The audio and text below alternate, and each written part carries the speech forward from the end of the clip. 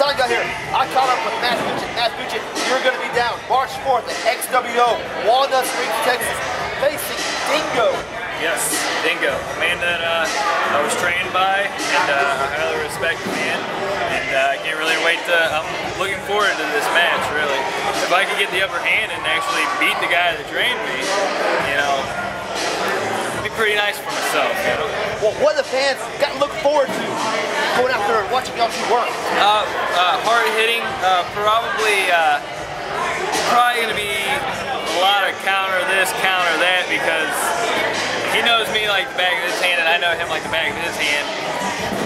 Almost similar stuff, but I uh, I also trained in flipping, and he doesn't really do too many flips, so I'm hoping that I have the upper hand on that, and uh, I'm really really hoping to pull it off and, and beat a man that trained me. Guys, if you want to see that match, I guarantee it's going to be the most high-flying, electrifying match you've ever seen in your life. Mr. High Flyer, you've never seen Dingo, you got to check him out too. Look him up on YouTube, guys. Come to Walnut Springs, March 4th. Matt Fidget, Dingo. Check him out.